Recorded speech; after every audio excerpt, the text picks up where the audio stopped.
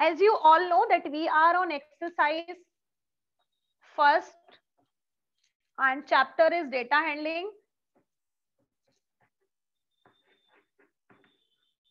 and we are on question number third so you are knowing that question number third is telling the weekly wages in rupees of thirty workers wages का मतलब होता है रोज का भत्ता भत्ता मतलब होता है जो भी उनको जो कमाते हैं रोज के फॉर्म में जो उनको मिलता है वो वेजेस कहलाता है ठीक है so the weekly wages in rupees of thirty workers in a factory are देखो यहाँ पर आप चेक करोगे अपना एनसीआरटी को बेटा सो बहुत सारा डेटा दिया हुआ। I want every one to please open your NCERT book along with your copy ठीक है? सो यहाँ पर आप देखो कि बहुत सारा डेटा लिखा हुआ है। 830 है 835 है 868 है 898 है 806 है 840 है, ठीक है?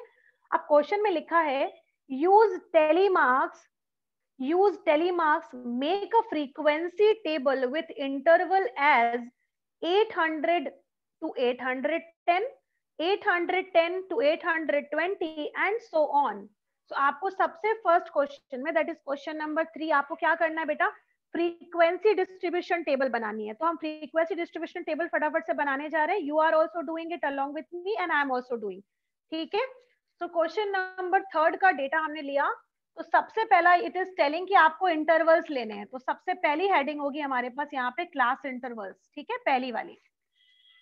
Second one will be the frequency ठीक है? फ्रीक्वेंसी मतलब कितने नंबर ऑफ़ वर्कर्स हैं जिनको उतना वेजेस मिल रहा है।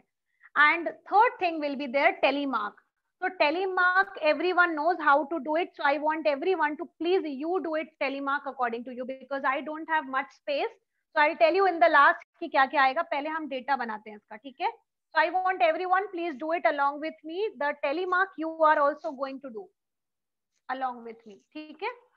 सबसे फ़र्स्ट वाला इज़ टेलिंग हंड्रेड टेन इसमें क्या करना है बेटा? आपको चेक करना है जो आपके पास वेजेस दिए हुए हैं, आपको चेक करना है कि आठ सौ रुपए से लेकर के आठ सौ दस रुपए मतलब एट हंड्रेड से लेकर के एट हंड्रेड टेन तक का जो वेजेस है, वो कितने लोगों को मिलता है? याद रखिएगा, इसमें एट हंड्रेड टेन इंक्लूड नहीं होगा। I am telling you when you talk about search करते हो तो बच्चे मिस्टेक कहाँ पे करते हैं? आई एम टेलिंग यू बच्चे मिस्टेक क्या करते हैं यहाँ पे? याद रखिएगा 800 ले सकते हो आप 809 तक भी ले सकते हो बट 810 वाला इसमें इंक्लूड नहीं होगा। 810 वाला इंक्लूड होगा इसमें। ठीक है?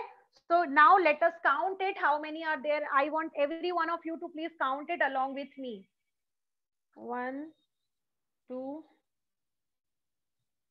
and I think three according to me three are there according to me three are there and use please pencil for underlining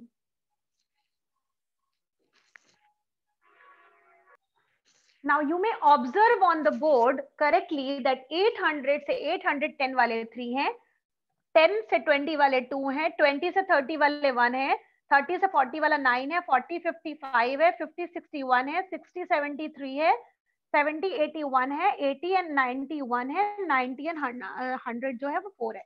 याद रखिएगा बेटा, जब हम सर्च करते हैं तो हम लोअर लिमिट इंक्लूड करते हैं बट हम अपर लिमिट की वैल्यू को उसमें इंक्लूड नहीं करते हैं।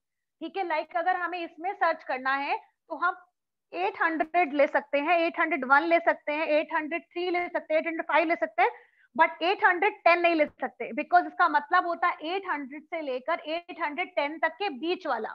ठीक है? सो so 810 नहीं आता उसमें। ठीक है? So now this is there now coming to tally mark अब इसमें हम बनाएँगे टेलीमार्क वाला। I don't have that side space और I can I am taking it here only let's wait so this is telemark now so this will give you 1 2 3 this will give you only 2 this will give you only 1 this is 1 2 3 4 5 1 2 3 4 matlab 9 now 1 2 3 4 and this is 5 Now this is only 1. This is 1, 2, 3. This is 1. This is 1. And this is 1, 2, 3, 4. So this is telemark also which we have drawn it now. Okay. Now moving on to how to draw frequency distribution that we have done it on the board. Okay. This is called frequency distribution table. Okay. Now we have got class interval सबसे पहले लिखे हुए हैं class intervals second number पे लिखा हुआ है frequency now always remember when we draw histogram we only use these two concept Class interval और फ्रीक्वेंसी की ज़रूरत होती है हमें ठीक है? उससे ज़्यादा हमें क्लास इंटरवल में कुछ नहीं हो, चाहिए होता ठीक है? So now I am telling you how to draw histogram by using these information how to represent on histogram because question number third is completed now question number four is that you have to draw a histogram related to this ठीक है? So I am going to rub this one now for question number four is telling here to draw the histogram related to the previous data of question number three only. So in that case, आपने देखा होगा सबसे पहले हमने लिए थे class interval और दूसरा था नंबर ऑफ़ वर्कर्स कितने थे? तो सबसे पहले हम डबल एक्सेस बनाएँगे जैसा हम जनरली करते हैं क्वेश्चन में.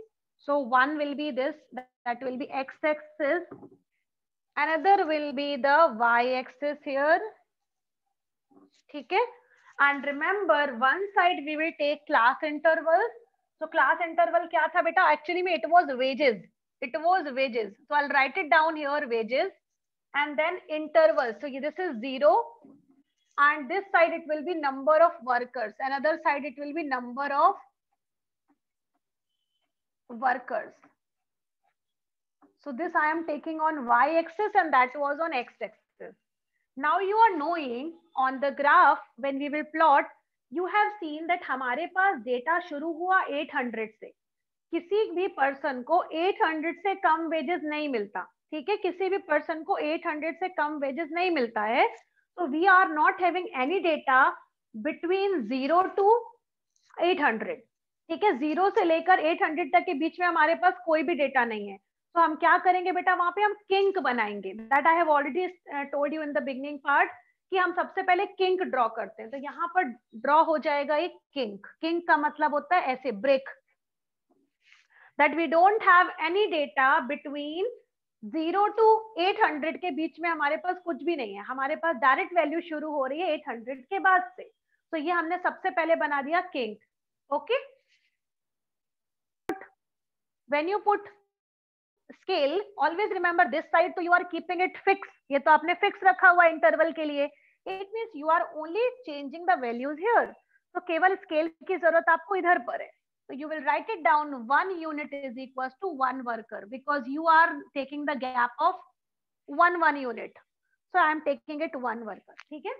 Now, सबसे पहला ग्राफ आपका है इंटरवल का 800 से 810 जिसमें स्टूडेंट दिए हुए थे थ्री सॉरी वर्कर दिए हुए थे थ्री सॉरी तो सबसे पहले I have taken it here this and this is like this one and this I have written it here. So I'm writing it this side because वहां ज्यादा space नहीं है. So this is 800 to 810 and this is three number of people. Okay. Now you are knowing the next value is just starting from 810 only And going for two workers. So, यहाँ पर हम क्या करेंगे? इससे बिना कोई गैप दिए हुए हम डायरेक्ट इससे अटैच कर देंगे अपने ग्राफ को और ये ले लेंगे नेक्स्ट और ये वाला हो जाएगा हमारा 810 से लेकर के 820 वाला. Okay it will be attached बेटा रिमेंबर हाँ? नाउ मूविंग ऑन 810 20 से 830 वाला. जिसमें केवल वन है। सो so, ये वाला भी इससे जुड़ा हुआ रहेगा। That will be attached here so this will be now 810 से ये वाला 830 तक जाएगा, ठीक है? 820 टू 830 नाउ 830 से 840 वाला है 9 तक। सो so, ये आपका जाएगा 9 तक। You will be joining it from here ये आपके पास 9 यहाँ पे है ना? so this will be from here next is this ठीक है एंड ये हो जाएगा आपके पास 800 830 से 840 तक ठीक है फिर 840 से 850 is 5 so the same process as i am doing it the same you will do it till eight hundred ninety से लेकर के नाइन हंड्रेड नाइन हंड्रेड तक। One question